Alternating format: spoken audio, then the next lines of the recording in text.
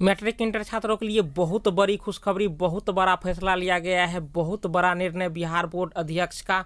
जो भी छात्र मैट्रिक इंटर जो है कि पास कर चुके हैं, उनको अभी तक जो है कि सम्मानित नहीं किया गया था, स्कॉलरशिप की राशि नहीं मिली थी। तो अब जल्द ही उनका इंतज़ार खत्म होने वाला है, फाइनल डेट निकल के आ गया है।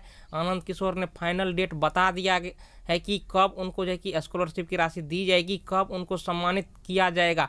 जो भी छात्र नए हैं इस चैनल पर वह इस चैनल को सब्सक्राइब करके इस चैनल के साथ जुड़ जाइए, क्योंकि स्कॉलरशिप से संबंधित सभी प्रकार के न्यूज़ लाते रहता हूँ और बिहार बोर्ड से संबंधित जो भी न्यूज़ आती है, सबसे पहले बताता हूँ। तो चलिए उस न्यूज़ को दिखाते हैं कि फाइनल अब जो है कि कब स्कॉलरशिप अब यहाँ पर आप खुशखबरी को देख लीजिए, क्या है खुशखबरी, क्या कह रहा है कि बिहार बोर्ड तीन को मनेगा, मेघा दिवस तैयारी शुरू तो तैयारी शुरू कर दिया गया है, तीन को मेघा दिवस मनाया जाएगा। क्यों मनाया जाएगा?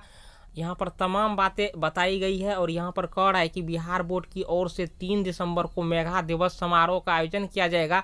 इसकी तैयारी शुरू कर दी गई है और इस दिन मैट्रिक इंटर परीक्षा 2020 यानी मैट्रिक के छात्र और इंटर के छात्र जो भी 2020 के टॉपरों को सम्मानित किया जाएगा, जो भी टॉपर, टॉपर्स हुए हैं। और मेघा दिवस सम्मान समारोह डॉक्टर राजेंद्र प्रसाद की जयंती पर आयोजित किया जाता है। इसके बाद यहाँ पर देखिए कि मैट्रिक इंटर की वार्षिक परीक्षा 2020 में टॉप किए छात्र छात्राओं को लैपटॉप और राशि देकर सम्मानित किया जाएगा। बोर्ड ने फ़िलहाल लैपटॉप की खरीद के लिए प्रक्रिया शुरू कर दी है तो राशि भी दिया जाएगा, लैपटॉप भी दिया जाएगा। अब देखिए, यह तो टॉपर्स के लिए है। अब देखिए, टॉपर्स को पहले सम्मानित किया जाएगा और इसके बाद जो भी छात्र जो है कि मैट्रिक में फ़र्स्ट डिवीज़न से पास किए हैं, चाहे किसी भी कैटेगरी के हो, चाहे जनरल कैटेगरी के हो, चाहे बीसी ईबीसी एससी एसटी हो, यानी तमाम छात्रों को जो है कि स्कॉलरशिप की राशि दी जाएगी। इसके बाद ही जारी किया जाएगा। पहले टॉपर्स को दिया जाएगा, फिर जनरल जितने भी छात्र टॉपर्स नहीं किए हैं, जो भी फ़र्स्ट डिवीज़न किए हैं, उनको दिए जाएँगे।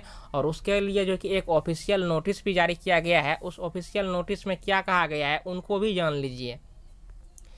तो यहाँ पर आप देख सकते हैं कि शिक्षा विभाग के द्वारा जारी किया गया है। कल भी बताए थे कि ये देखिए 2020 में जो भी छात्र छात्राएँ पास हुए हैं फ़र्स्ट डिवीज़न से, उन सभी छात्र छात्राओं को दस हज़ार की स्कॉलरशिप राशि दी जाएगी। यहाँ पर कैटेगरी वाइज करके दर्शा दिया है अब देखिए फ़र्स्ट डिवीज़न अन्य कैटेगरी में फ़र्स्ट डिवीज़न और किसको सेकेंड डिवीज़न वाले को मिलेंगे? तो यहाँ पर यह भी क्लियर कर दिया है, जो भी एस सी के स्टूडेंट हैं, अगर वह सेकेंड डिवीज़न से पास हुए हैं तो उनको आठ हज़ार की स्कॉलरशिप राशि दी जाएगी।